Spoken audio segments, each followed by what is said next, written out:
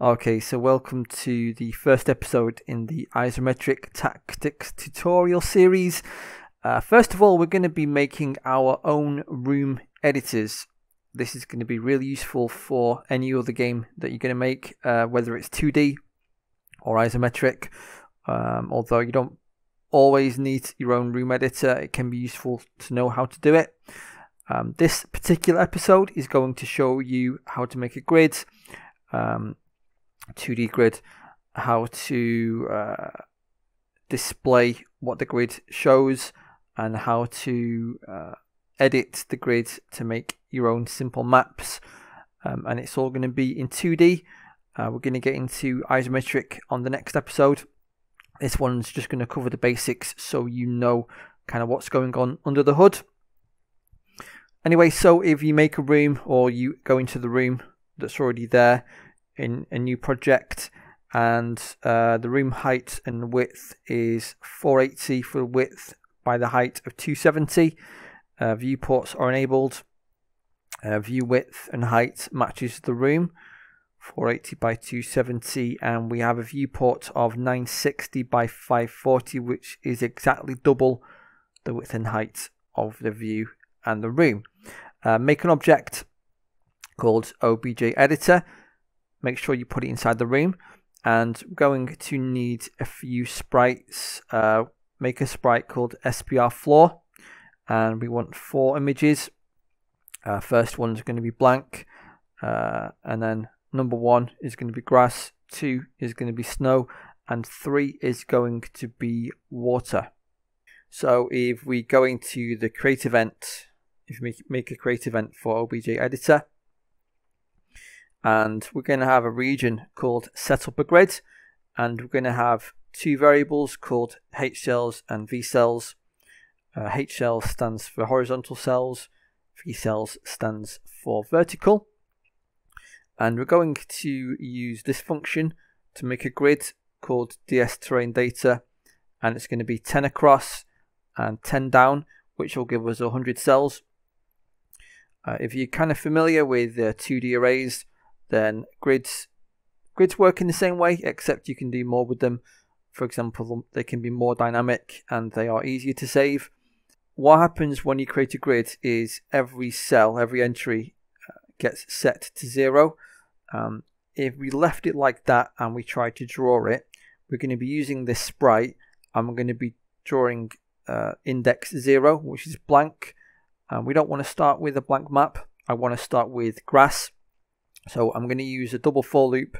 I'm going to set every entry in the grid to 1, which is 0, 1, which is going to give us grass.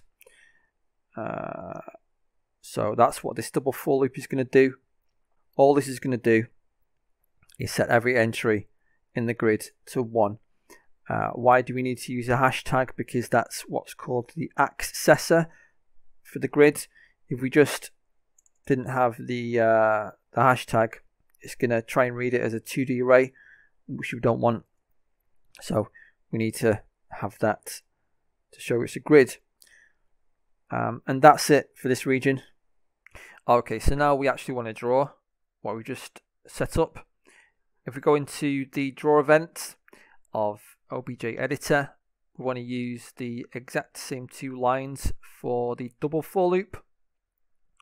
And what we're going to be doing is we're going to be going from every cell, every step, and we're going to uh, save what's stored inside each cell in index. And then uh, index is going to equal uh, 1 every time, but uh, when we come to change it, it could equal 0, 1, 2, or 3. Um, and then we're just going to draw this sprite in a different position 100 times because there's 100 cells. That's what it's going to do. Uh, and then the index, whatever is stored in here. So just in case you don't know what's going on with the double for loop, I have created a masterful piece of artwork. So this is the x-axis, this is the y-axis. Uh, when the double for loop starts, it's going to be on x0, y0 then it's going, going to go to x1, y0, x2, y0, blah de blah. until it gets to x9, x0. Then it's going to go here. It's going to see if it can go here, but it can't because uh, h cells is 10 and the for loop only goes up to less than h cells. It's going to go to y1, x0, then it's going to be x1, y1, x2, y1, all the way to here, and then it's going to see can go to x10. No, we can't. So y2, blah blah blah. It's going to draw every cell like that, and this is actually um, this is actually how you normally would draw isometric tiles as well. You start in the top left, do all the ones on the horizontal, then go down a row, draw draw all of these ones. That's how uh, most people I've seen do it, and that's how I tend to do it as well. Okay, so uh, once you have this code down, let's run the game, and you should end up with a big green rectangle like this. So as long as you've got that, you are in the same place as I am, and we will now edit what we have. Okay, so now we are going to do some more coding, a little bit of coding, just so we can actually change the map. Uh, first of all, though, uh, we're going to create some new variables. In the create event, we want to have a new region called extra variables, and we want to have grid X, grid Y, and new index. Grid X and Y is going to tell us where the mouse is in relation to the grid. So for example, if the mouse is, is oops, if the mouse is over here, then it's going to tell us the grid X is 5 and grid Y is 3. If the mouse is over here, it's going to be grid X 3, grid Y 6, etc. etc and new index is basically so you remember that every every cell is is uh, has an entry stored in the grid. Uh, when we click the mouse, we want to change the value stored in the grid, and therefore it will draw something different. At the moment, every value is set to one. Say, for example, we have the mouse here and we click, then cell 5 3, um, if new index equals 2, then 5, 3 is going to be 2. The rest of them are still going to be 1. Unless we move our mouse over that cell, click it, then this value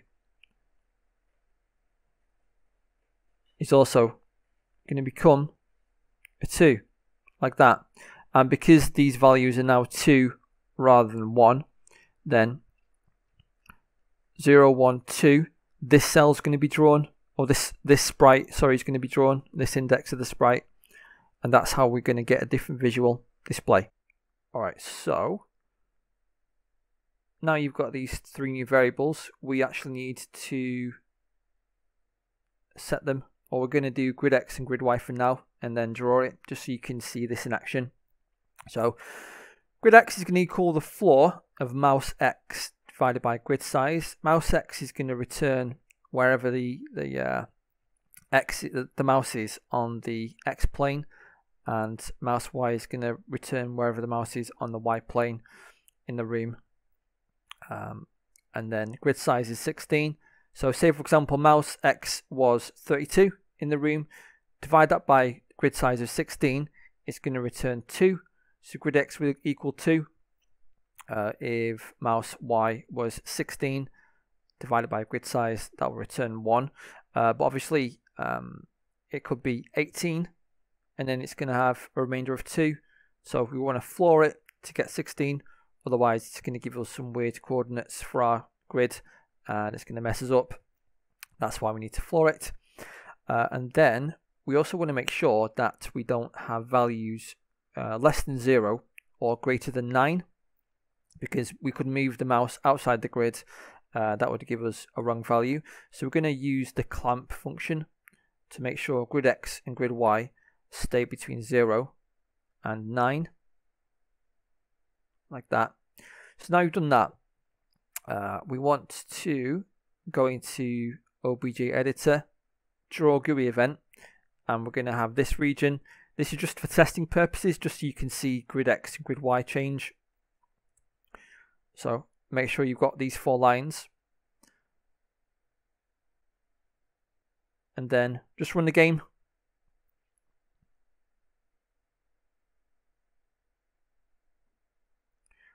So you can see wherever we move the mouse, grid X and grid Y change based on where it is.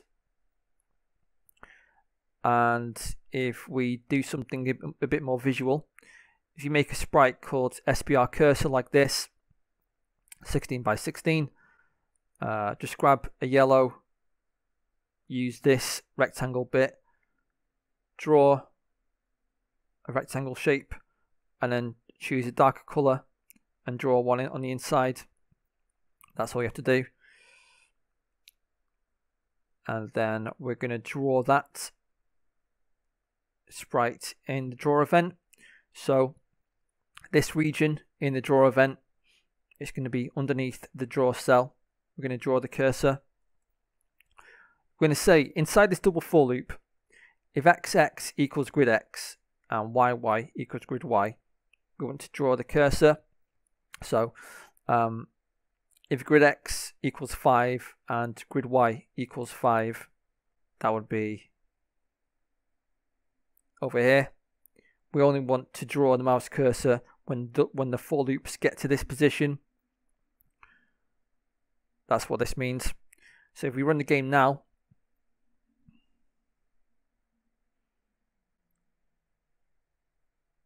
you can see we've got a cursor better visual aid.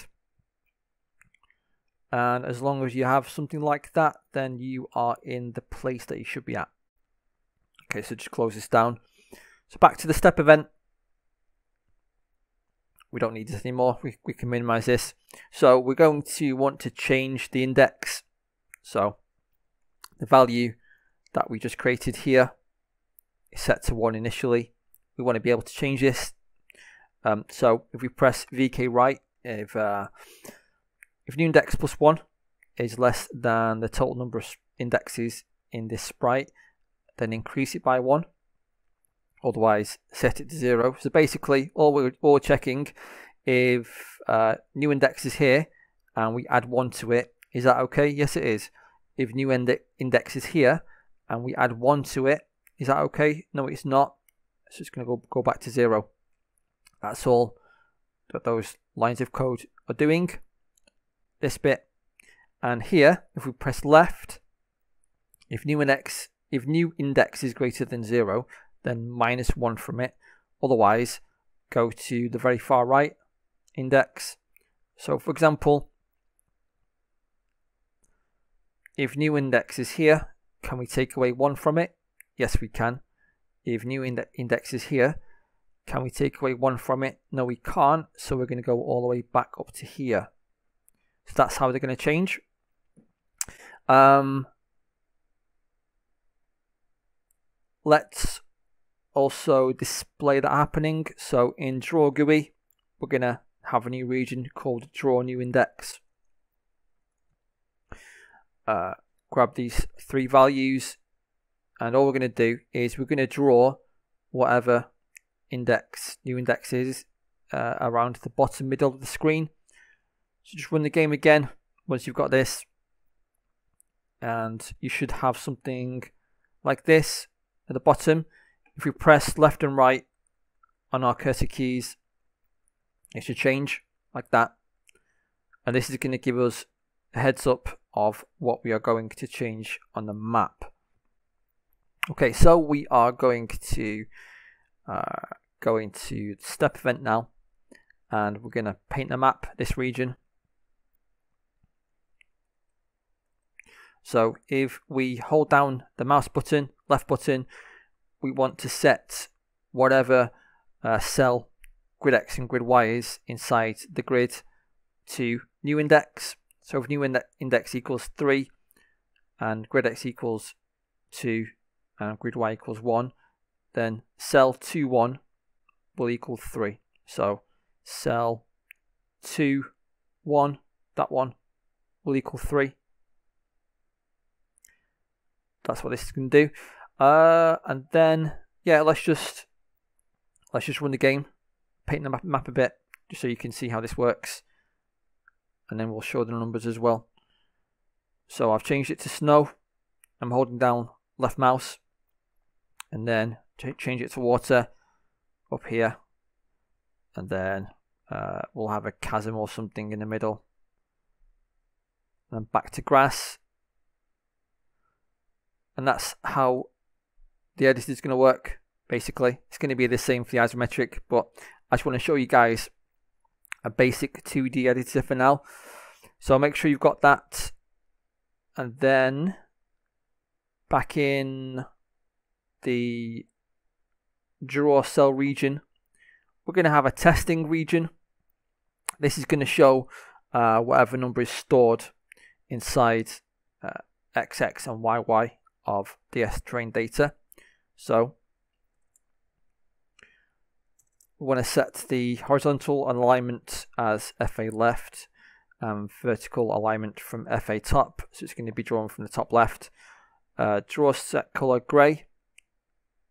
And we're just going to draw, like I said, whatever index is 0, 1, 2 or 3. We're going to draw it as a number. Uh, just so we don't have uh, a string clash, we're going to comment out the grid X, grid Y stuff inside the draw GUI for now. Okay, so run the game. And you should now see this, a load of ones, because that's what the index is. If we change current index and start painting, then we get a load of twos. Change it to water, get a load of threes. Change it to chasm, we get a load of zeros. So this is how the data stored inside the grid is correlating to the visual display. Uh, that's very important for you to know um, because when we come to do the isometric part with different heights, uh, you need to know this, understand this part in order to grasp the next bit. So uh, hopefully you are in the same position as me. If you've got any questions or comments, please leave them below. Uh, but until next time, I will say bye. That was bad. No. But anyway, so uh, I hope you enjoyed this first episode. It's uh, it's not a bad primer for taking us into isometrics. Um, I will catch you next time. Bye for now. No, one more time. Okay, so uh, if you have, hopefully you are. One more time. Hopefully you have the exact same result that I do. Um, any questions or comments, please leave them below. I'm always happy to answer them. Uh, I think this was a good introduction to an editor. Um, but uh, we'll get into more interesting stuff next time. But until then, bye for now.